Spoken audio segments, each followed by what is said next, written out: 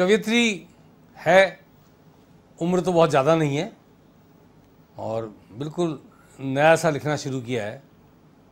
छतरपुर मध्य प्रदेश। जी। वहाँ से कविता भेजी उन्होंने नम्रता जैन। और कविता में भी उन्होंने एक बहुत मार्मिक सी अपील की है कि घर में रहो देखो ना बाहर का रास्ता तुम्हें तुम्हारे प्राणों का वास्ता। वाह। ऐसी मार्मिक अपील के साथ नम्रता जैन छतरपुर। एवन टीवी के समस्त दर्शकों को बहुत बहुत प्रणाम करती हूँ।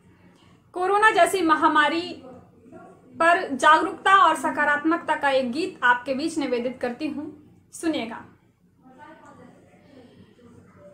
कि अंदर रहो, न देख, न बाहर का रास्ता। अंदर रहो न देख न बाहर का रास्ता। तुमको तुम्हारे खुद के ही प्राणों का वास्ता। अंदर रहो न देख न बाहर का रास्ता। तुमको तुम्हारे खुद के ही प्राणों का वास्ता। ढूंढो नहीं भगवान को मंदिर के द्वार पर ढूंढो नहीं भगवान को मंदिर के द्वार पर, मत जान कर रखो कदम पैनी कटार पर।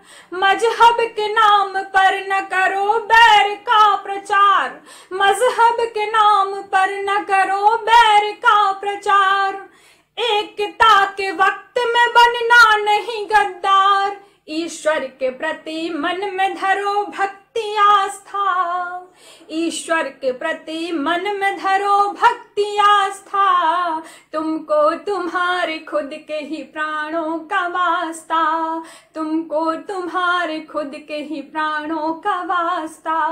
अंदर रहो न देख न बाहर का रास्ता।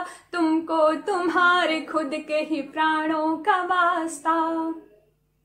डॉक्टर सफ़ाई कर्मी देवदूत के लिए वक्त डॉक्टर हमारे लिए देवदूत है कि डॉक्टर सफ़ाई कर्मी देवदूत के लिए, पहरे पिखड़े भारती के पूत के लिए, बिछड़े हैं जो अपनों से उनकी भेंट के लिए, जो भूख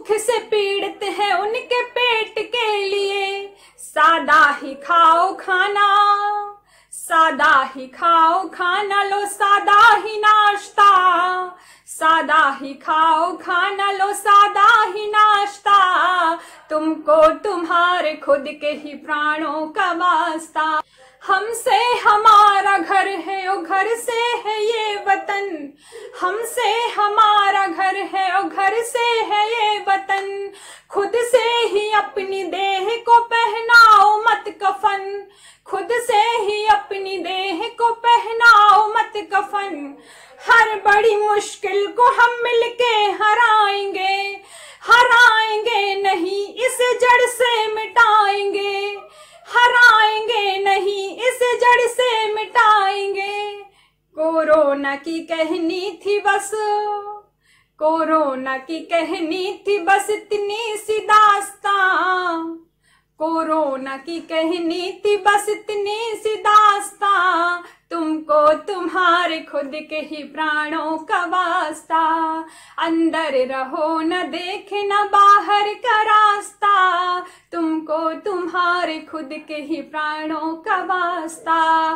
तुमको तुम्हारे खुद के ही प्राणों का वास्ता।